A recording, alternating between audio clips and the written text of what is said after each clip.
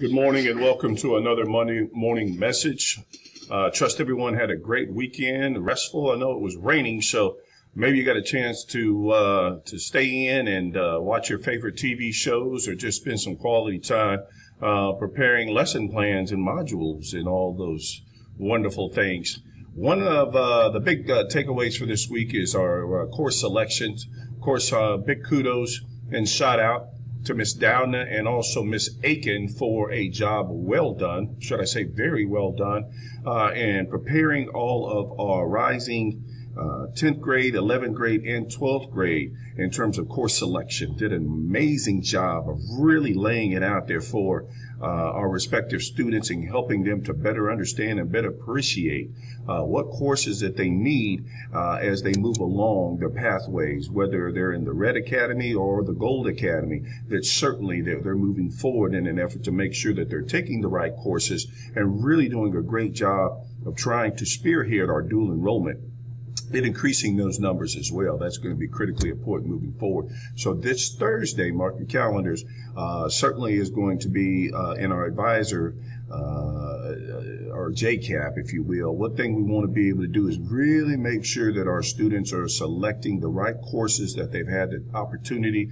uh, to properly vet this over in terms of selection one, two, three, etc., with their electives, and then of course if they're taking a, a, a dual enrollment course or maybe an AP course, uh, that they are certainly uh, following uh, the procedural steps, if you will, from one prerequisite to the other to the other and moving forward.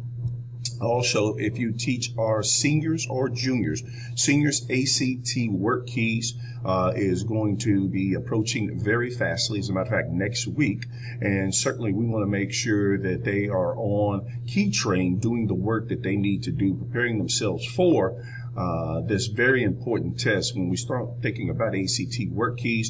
If they are able to obtain a silver credentialing in the three sections, uh, then from there they will certainly have the opportunity to, uh, in fact, uh, be, uh, of course, career ready uh, which is a strong indicator. And so we want to make sure that our students are prepared for that assessment. And then, of course, our ACT, uh, certainly numeracy and literacy is something that you should be doing every single day, reading and writing and problem solving and analyzing working collaboratively uh, in groups with students. Uh, this is your, your chance, folks, to allow our students uh, to take a risk, uh, allow our students to work uh, homogeneously in groups where they have the opportunity to really kind of bounce ideals off of one another and struggle through some of the assignments, high quality, robust assignments that you're preparing for for our students. This is a great time for you to be a facilitator and really help to guide them through uh, that that metacognition as they think about what needs to be done. So, want to put that on your brains. Uh, this morning. Also want to be able to talk a little bit about in the height of flu season. Uh, want to talk a little bit about cleanliness. I've had the opportunity this weekend to go in and out of classrooms, and some of your classrooms are so clean and so neat. Uh, I mean, it almost looks like Ruth's Chris uh, in terms of restaurant quality. You could eat off the floor, right? Uh, and then others, uh, you don't want to walk on the floor. Uh, if you're having issues with students bringing in drinks or bringing in food and they're just leaving it, folks, you need to step up and tell them, hey, if you can't respect this classroom, you don't need to bring it in. Uh, certainly, we have a fine custodial staff. If you'll alert them or bring the to their attention, they'll be more than happy to get into your rooms and do some of the things that need to be done in terms of mopping or, or certainly, you know, sweeping. And then if that's not taking place, then let us know and we'll get it addressed. But certainly, folks, uh, your classroom uh, is your home, is our students' home, and we want to make sure that it is cleanly. Cleanliness is next to godliness, if you will. Uh, certainly, your uh, wipes, uh, wiping down desks, doorknobs, Lysol spray, folks.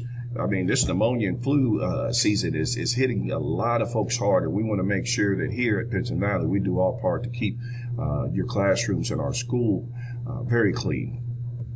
Also, uh, as I mentioned on last week, there is going to be an instructional audit, or just really an audit of the school, uh, where teachers are going to be pulled, SILT team members are going to be pulled, counselors, administration, students, uh, in an effort to try to determine what's going on in your classroom, what's going on in departments, what's going on uh, in the school and really just kind of get an idea of the climate of the school, the temperature, if you will, of your class uh, or classes. So uh, we know we're doing the absolute very best we possibly could do in an effort to provide quality instruction and, and, and provide safety for our students here at Pinson Valley. But uh, certainly uh, our folks from central office want to come in and, and, and do this uh, observation. It's going to uh, run about two to three days, I'm told.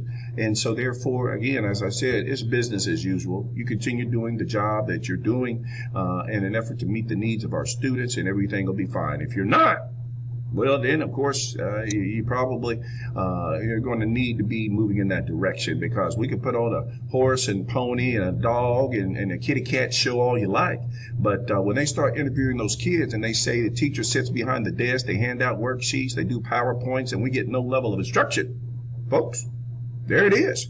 So I can promise you, you want to make sure that you're doing your part. This is no threat to anybody. But if you're not doing your part, maybe you need to think about going somewhere else. Uh, maybe even getting out of the profession altogether. Folks, this is tough work. Can I just go on and tell you? It's tough work. Uh, teaching kids is not easy. Uh, teaching your own kids can be difficult. I have alone teaching uh, 100 plus kids every single day that don't do not uh, live in your household. So, folks, I get it. I understand it. Uh, and some days we go uh, out of uh, this building and we are beat down to the ground. But you know what? That's why the good Lord has blessed us to be in this business uh, because they, you know, He knows our hearts and He knows that uh, there is a lot of work to be done. And, and, and these kids, these are our kids, and they need us here. So, folks, uh, it's time to roll up our sleeves. Uh, as Booker T. Washington uh, said, uh, uh, drop your bucket where you stand. And uh, now it's time to, well, really push forward because 69 does not define us. the video that Ms. Hyatt has posted on the website, that's what defines us. And, and if you haven't taken a look, go take a look because I promise you, you'll enjoy watching our kids and, and seeing some of the great things that we're doing here at Pinson Valley High School. As always, uh, make sure that you have your lesson plans in place in modules and they're posted outside your door. Also keep in mind that uh, progress reports are going out, so we want to make sure that all of our grades are current in iNow and more importantly, uh, that we have an accurate account uh, and assessment of what our students are doing in our, in, in our respective classes. Uh, that being said, let's have a wonderful, wonderful week, very productive week, and uh, let's make a, a, difference, as I know you do every single day in the lives of children.